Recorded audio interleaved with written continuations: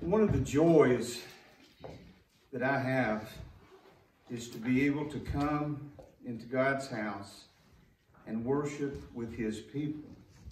It is something that, in all honesty, is in my in my context, is one of the best days of my week. Uh, y'all know I officiate football, so I know nobody's going to be yelling at me. Um, I, I, I don't have to worry about throwing a flag on any of y'all that I'm aware of. I'll let the Holy Spirit and God do that. Um, but let me ask you to take your Bible and turn to the book of Acts. The book of Acts. I've been doing some reflecting and um, I want us to look at chapter 16. And I've got a quote that y'all have heard me use before. And the quote that I've used before is this. Everybody does what they want to do, and then they find a reason or excuse for doing it. Well, I've modified that a little bit. Everyone does what they want to do by value and importance. If something is valuable to us, we'll go in that direction. If it's important to us, we will do it. Now, I believe that you have come here today not to hear Ron Ethridge. I don't think that y'all came here out of habit.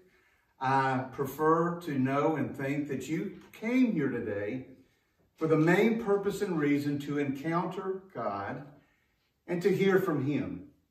And so that's my prayer whenever we get to this part in worship. And I hope you you you you agree with me that, that worship is not confined to 11 o'clock to approximately 12 noon on a Sunday. That it's a lot bigger and, and comprehensive than that. And what I want us to do is to read beginning in Acts chapter 16. We're going to pick up in verse 16. And we're going to look at a, a, a passage that is familiar. Um, and I titled the message, This Doesn't Make Sense. And I think you'll understand that once we get into it. And by the way, this passage of scripture is also where I got the title for the book that we have been looking at on Sunday nights, which is Dancing in the Dungeon, is the title of the book. It comes from this passage. But let's read together Acts chapter 16, beginning in verse 16. Now, this is about Paul and Silas, and one of them is, in fact, I think Silas is the one who actually writes this section of Scripture because of the way it starts out at the very beginning. He writes, As we were going to the place of prayer, we were met by a slave girl who had a spirit of divination and brought her owners much gain by fortune telling. She followed Paul and us, crying out. Now, now, and I think for just a minute, we're talking about a woman who was, who was demon possessed. And I want you to look at what she says, this demon says through her. These men are servants of the Most High God who proclaim to you the way of salvation. Now, you'd figure if somebody's doing that, you would, you know, hey, thank you, appreciate the, the kudos, but I want you to notice the continuation.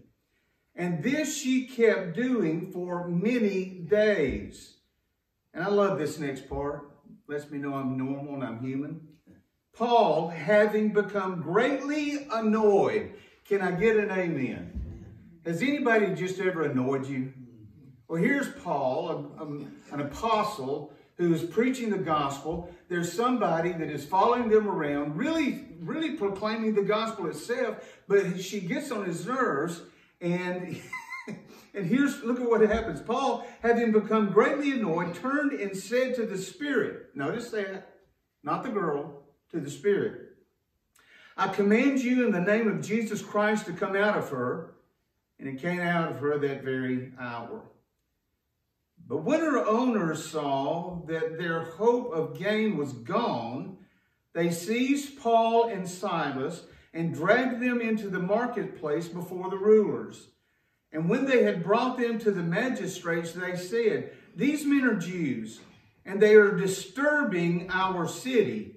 Now, that's not the truth. What they're doing is they're just losing their income, and so they're trying to do a political uh, move here. They advocate customs that are not lawful for us as Romans to accept or practice. The crowd joined in attacking them. And the magistrates tore the garments off of them and gave orders to beat them with rods. And when they had inflicted many blows upon them, they threw them into prison, ordering that the jailer keep them safely. Having received this order, he put them into the inner prison, the dungeon, and fastened their feet into stocks. I love verse 25. And about midnight, Paul and Silas were praying and what? Singing hymns to God. And the prisoners were listening to them.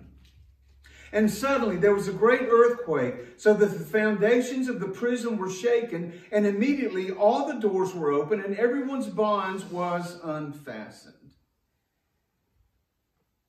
This is such an awesome passage because what we are seeing happen here doesn't make sense. It is not the way we would we would process things ourselves if we were unjustly thrown into jail or into a prison, into the into the uh, uh, what do they call solitary confinement, so to speak, and after being beaten and after having their clothes ripped off, all this stuff, and yet what are they doing at midnight? They're they're, they're what's the first thing they're doing? Praying. Praying. And what's the second thing? Singing. Singing. And by the way, do you remember what the apostles did after the Passover meal when they were going to the Garden of Gethsemane. Do you remember when they got through with the Passover meal? What did they do? They sang a hymn. And so, what I want us to see here, what I want us to talk about today, is the importance and the power of God in worship.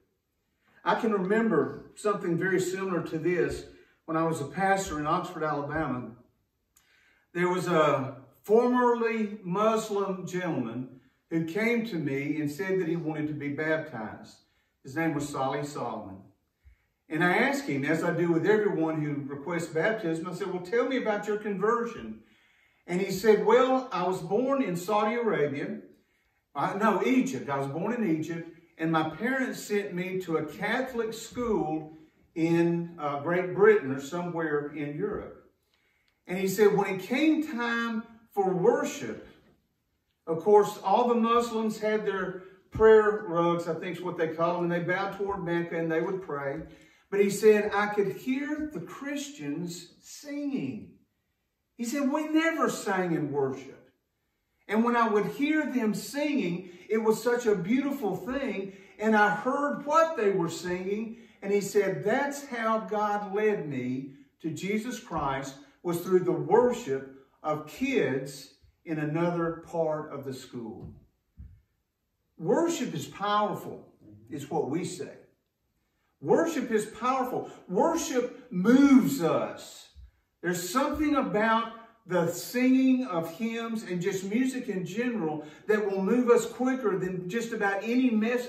There are some songs, I hear the opening chord and it affects me already. When I'm listening to a message, I got to get into it. And I'll tell you, the messages that I listen to, if they're not hitting my, my heart within about five minutes, guess what I do? Change them, turn them off. but y'all can't do that, can you? So anyway, anyway, anyway. Worshiping God takes us to his throne and it shifts the focus of our heart and mind from this world to the one who will be who is able to do exceeding and abundantly above all we ask or imagine. And there's another part of worship that I want us to remember is that Satan and demons cannot handle it when we worship. Amen. They can't. They flee. That's why it's a good thing for us to worship and praise and honor and glorify God. That is the, that's one thing they cannot handle if you can imagine them putting their hands over their ears and screaming and running away, that's what worship does to the evil spirits around us. But I want you to notice something. I am not going to define worship by the kind of music we sing. What kind of music in worship is okay to sing? Whatever glorifies God. Can you use a drum? We had one. What, what about a violin or a fiddle? Well, could, could you use a piano, an organ? Could you use, yes. It, what, what type of song do you, I'm going to tell you something. If, if, if, if I could bring the kind of worship music, if we could do the worship music that, that I like, there's some of y'all that would go, what is he listening to? But it's things, I have a, what do they call it? Eclectic. I am so eclectic in my, in my love of worship styles that you cannot put me into any category. Because it's not about the style, it is about the matter of the heart. So Paul and Silas were going to pray, and that's when this girl came out who could tell the future, and she began telling everybody that they were servants of God and the way of salvation. She did this apparently for day after day after day. And Paul had finally had enough. And he tells her, in essence, shut up, tells the demon in her to hush, to shut up, to be cast out. Now, I, I want to make just a very quick aside. There is still demonic activity in possession today. We can't see it and discern it all the time, but we I, I promise you, Satan has not changed his MO, and he still does it the same way, even to the point of a demon in a person proclaiming the gospel. I mean, that is a powerful thing for us to, to keep in mind here. And by the way, all forms of divination are evil, um, including what are what are those little things when you go to an Asian place and it's got a it's got a who fortune, fortune cookie. Yeah, a fortune cookie. Yeah, you know. But uh, the only reason I get fortune cookies is to give them to my dog. Okay, but horoscopes, you know, there's some people that live by those, and they are evil and are not to be played with. So anyway, the girl's owners got mad because she was making them money. And when she was saved, when the demon was cast out of her, all of a sudden they lost their form of income. And when you look at verses 22 through 24, the crowd attacked them. The officials tore off their clothes and beat them with rods and threw them into the prison dungeon, putting them in chains and their feet in stocks. And what do Paul and Silas do? What's the first thing they do? Let's not, let's not buzz by this. What's the first thing that is recorded they did? They prayed. That is our first go-to in any situation, no matter how joyful or how far down it is or how hard it is, is to go to God in prayer. And that, that is our way of communicating with God and God communicating with us. The Holy Spirit will enliven our hearts and our minds and our, our spirits when we are in the attitude and when we are in the practice of praying. And that's what Paul and Silas had done here is they prayed. It's like in Second Chronicles 2012. Write that one down. Second Chronicles 2012. And it's written in that verse of scripture. We do not know what to do, but our eyes are on you. And a lot of times that's where we are. In the midst of a situation when it rises up, we may not know what to do. So the first place we need to be going is to God Almighty Himself. And we approach Him with prayer, and then we worship, we read His Scripture. All those things compile together, and God, uh, God is a a loving God, and when he hears and sees his children doing that, he always responds. So whatever we go through, we seek God. How, how many of y'all are as frustrated as I am that we've got all these tanker ships off the west coast and we can't get stuff? My, my, my windshield has been cracked for six weeks now.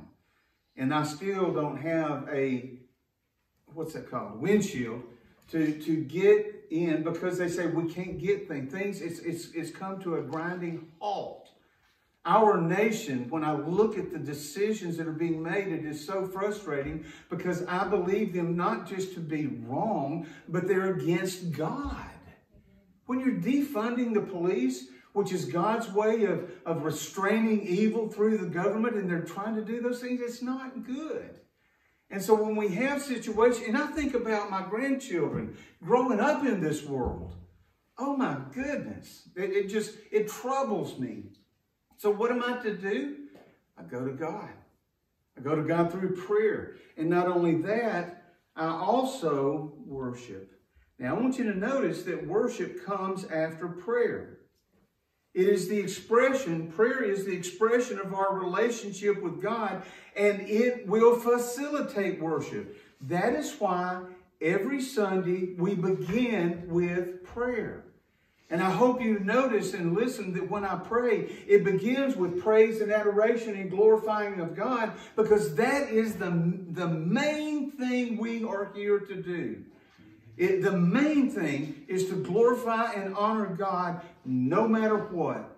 Because what we are all doing, I, I want you, I really want us to get this, is that we are all here for an audience of one. Amen. We're here for an audience of one. I don't preach what I preach to make y'all feel good or any of those kind of things. I preach the gospel to glorify God. We sing songs to glorify God. We pray to glorify God. And so the, the, the whole goal is, is to lift God, our praises to be lifted up to God so that when we leave here, we are strengthened in our inner person and can go out into an evil world and live it in such a way that He is glorified out there. That's why we do what we do here. Now, by prayer, we cast our anxieties on God and we shift our heart from here to heaven. Jot this verse down, Colossians chapter 3, verse 2. You have heard it before. You've heard me quote it. I want to keep going back so you see it. But Paul writes in Colossians chapter 3, verses 1 and 2, is to set your mind on things above and not things on earth, where moth and rust corrupt and destroy.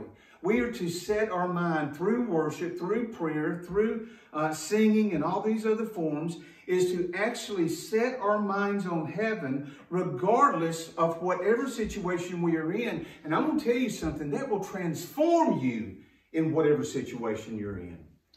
That is why the old, and this is what they have always been called, the old Negro spirituals had a lot, a lot, a lot about heaven because they didn't have a whole lot, if anything, on earth.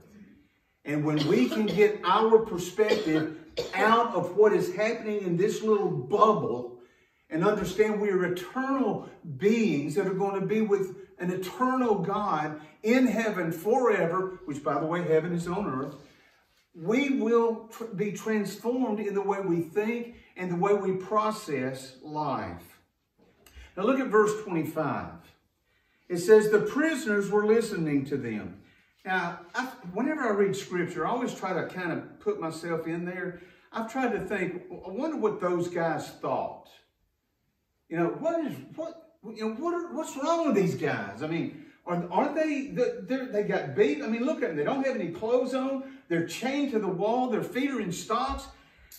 And they're praying and singing hymn. What is wrong with them? Either they're crazy or I want what they got. See, that, that's what happens when we live our faith out there. That there will be people that will see us and it will either offend and they'll go away or they'll be intrigued and come to find out more. That's why we live the way we live in everything we do in the rest of the week. This is just a huddle. I mean, this is football season. I, everything in my mind right now uh, goes back to a huddle. Do you know where the huddle came from? My, my mom and Pam do. You know where the huddle came from? There was a deaf school up in New York that when they played football, they had to figure out a way so that everybody on their on their team knew what play to run. So they would all come around and get around the huddle, and the quarterback would do sign language, and then they would all know what to do. That's where the huddle came from. Then they break the huddle. I don't think they clap, but they break the huddle, and then they go run the play. This is a huddle. So that when we're through, we break it and we go play the, the, the game out in the world. So Paul and Silas, what was happening is they were living Philippians 1.27. Don't turn there. Let me quote it to you from the NIV. This is Philippians 1.27 in the NIV. Whatever happens, conduct yourself in a manner worthy of the gospel. That is my gray armband. I have had this gray armband on. I think this one is nine years. And it's not for anybody else to see. It's for me to be reminded that whatever happens, I'm to conduct myself in a manner worthy of the gospel. And that's what they are doing right here. So what we have as a result is that these guys were worshiping God and the other pr prisoners took notice and that what they were doing had a spirit-filled, God-centered, Christ-exalting worship. That's what we're to have here. And people notice they sometimes are confused and drawn to God. But in the scripture, what happened as they were singing praises to God? What took place? Geologically, an earthquake. What what'd you say? Oh, well, yeah, they, they were doing that by their conduct. You're right. But an earthquake happened. And what happened? It wasn't just an earthquake. I mean, everybody had shackles on, and what happened to the shackles? Fell off. And I don't know if they were behind bars or whatever, but whatever was keeping them in, what happened to those? They opened. Do you know what happened right there that they did not see, that is not recorded here? Angels did all that. Angels came and they went, took off the shackles and opened all the doors. And all of a sudden, they thought the, the jailer came out. This is in verse 27. He came out when the earthquake happened, and when he saw the doors open, he thought to himself, I'm dead. Because that's what happened. If somebody escaped from a Roman guard, they killed the guard. But everybody was still there. Paul stopped him because he said, No one is going to escape. But then God glorified himself by saving that jailer. And here's, that's the story. That's the background. What I want to suggest to us all is that worship of God is freeing.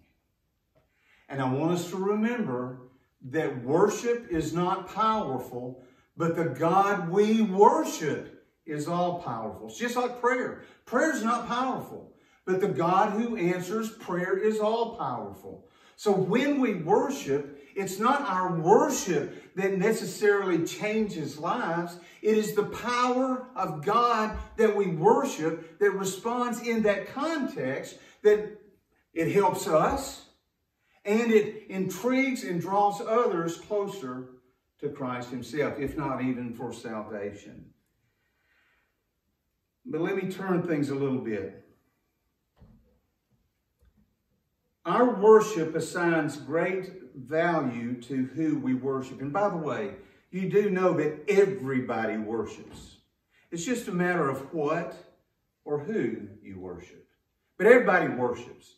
If you ever, have you ever seen a concert or been to a concert? You, anybody? Yeah, you have. Okay, that is worship.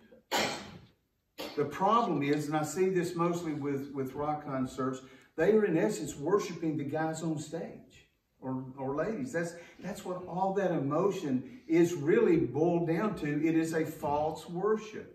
But when we come together, we must understand that the motivation for our worship is God and who He is. The problem we have in many of our congregations, and I'll be honest enough to say there are times where it's me, is that I'm just not ready for. I'm just not into it. I come here and what I do is I sing the songs, you know, sing the songs preach the word, and it's just going through the motions.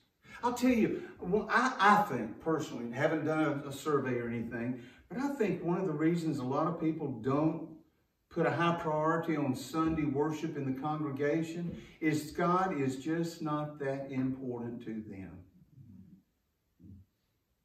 I can remember, now I'm not going to tell you that story.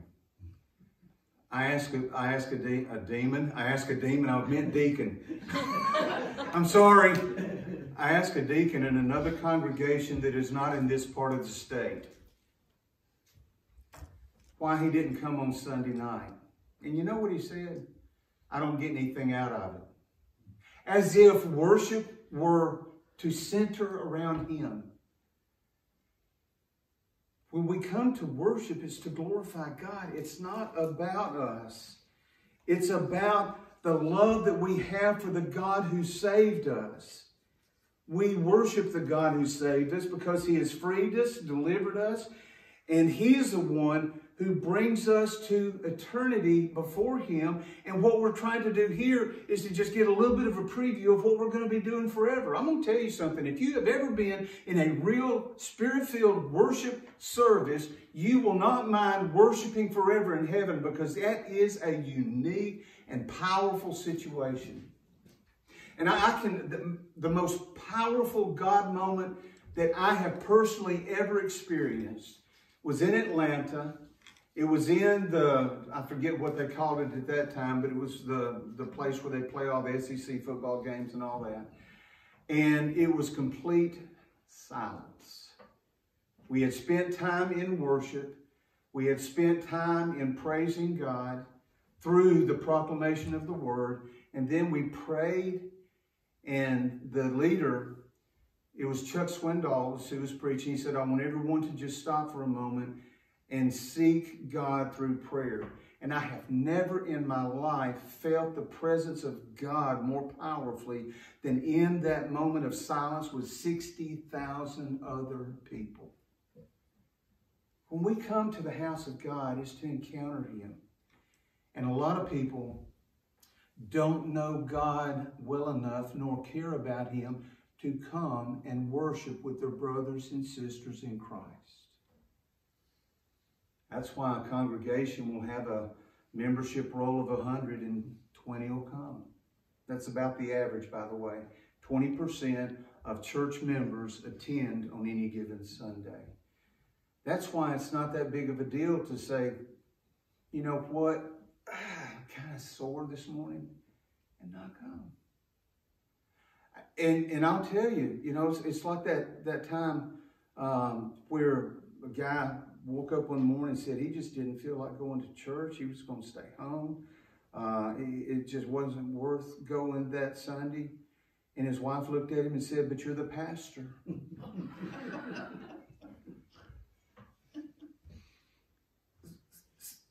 We're human, guys. And we recognize those times when we're weak and but dust. And I will say this, there are times when physically people can't attend. That's why we do the little YouTube thing. and God understands that when we can't come. But I, can, I can't help but remember people who were in the midst of chemotherapy and were in worship. I thought, I just it just beat me up. It just beat me up to see. I can remember it was, this one was at Woodward Avenue a lady was having um, cancer treatment. She sat on the right side we were singing Amazing Grace, tears coming down her face, and she's praising God with her hands up. She wasn't there for Ron. I knew it. She was there for God. And I've wondered, is that why no more people that say they're believers come on a regular basis? Look, I'm not saying we have to be in church every Sunday. I'm saying that we will come as we're able according to our physical abilities and strength, to worship God. Whatever we worship is who we sign great worth to. Some people, for worship of God, is not passionate. But then I can't help but think of John chapter 4, verse 23. Write this one down. Don't have time to turn there. In John 4, 23, here's what Jesus says. The hour is coming and is now here when the true worshipers will worship the Father in spirit and in truth. For the Father, and here it is, here's the quote you know. For the Father is seeking such people to worship Him. Did you notice it didn't say in church? It didn't say in church. Can, can worship take place outside church? Yes. Where is the best place for worship to take place? In God's house, in a congregation. But you can worship anywhere, anytime. When I, last year, I was standing on the sideline at um, Phil Campbell, and uh, it had rained, and I looked up, and there was a moon and a rainbow. And I couldn't help but turn around to the coach and say, Coach, you see that? He goes, Yeah. I said, God did that. I took a little time to worship on the sideline. I, I have taken the kids when they were younger, we would be going somewhere and there would be the beautiful sunset or sunrise. That wasn't very often, but sunsets were. And I would say, Who did that? And they'd say, God did. And we would spend a little bit of time in worship. We can worship anywhere, anytime. We can worship in our laying in our bed with a fever of 102, listening to, to music. worship is not confined to just right here. Because worship is always right here. And so that's why I encourage us to always, when we have opportunity and can come here together and worship, but let's worship God all week. And I'll guarantee you that will transform our lives. My goodness, y'all got to listen quicker. Here we go.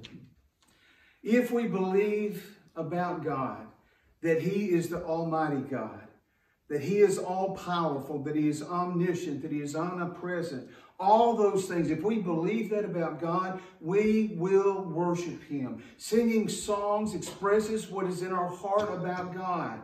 Nature uh, expresses, seeing nature, like I just told you, is an expression of worship. And I've, I've told y'all before, I've, and I've told my kids, Pam and Mom know this, that if they ever want to see me pre- if they ever want to see me worship, it's while I'm preaching. I worship the most while I'm preaching because I'm getting to proclaim the truth, the eternal truth of God to His people for them to hear and for them to glorify God in their lives. Let me tell you, though, about a guy. His name was David. This is, by the way, in 2 Samuel 12. David had an affair with Bathsheba, and she became with child. So what did David do? He killed her husband. And then when the baby was born, God told him, one of the punishments on you is that the baby will die. And so at that point, when he found that out, that he went to the house of, the, of God and he got on his face before God and he prayed and prayed and fasted and prayed and fasted. And then the baby died. his servants were afraid because they said, if this is what he's doing while the baby's alive, what in the world is going to happen when, we, when he finds out what's taking place? Well, David heard him talk and he went up to him and says, has the baby died? And they, they said, yes. You know what David did? He got up, he went and cleaned himself up and went to the house of God and worshiped. And they went to him and said, what are you doing? When the baby was alive, you were, you were all broken up and busted up and, and you were praying and you were prostrate and you were, you, were, you were fasting. And then the baby dies, you get up and you go worship. Why? And he said, I shall return to him, but he will not return to me. So David had a perspective about heaven and worship that we, I think, need to gather I can remember a family in, again in Oxford, whose daughter committed suicide on Christmas Eve, and their son committed suicide, I think, two or three months later, and they never missed a worship Sunday. They wept through them the whole time, but they were in God's house every single Sunday. Do you know why? They felt a closeness to God in the congregation of the people than they did anywhere or any time else. That's the way Christians are.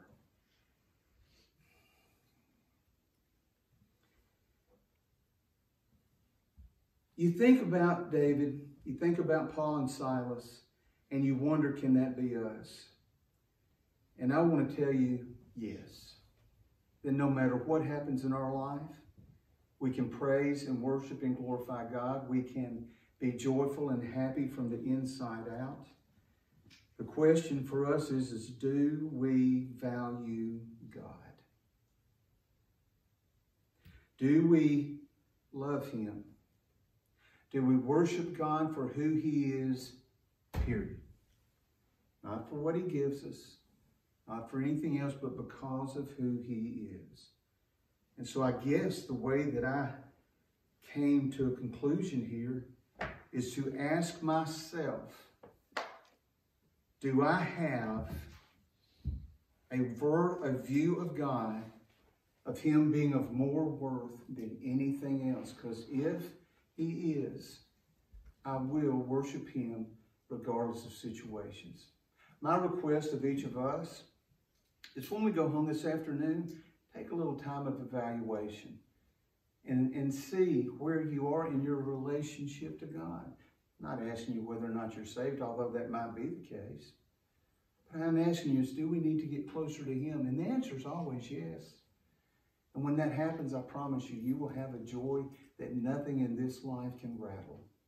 Let's pray. Father God, we praise you, we worship you, we thank you.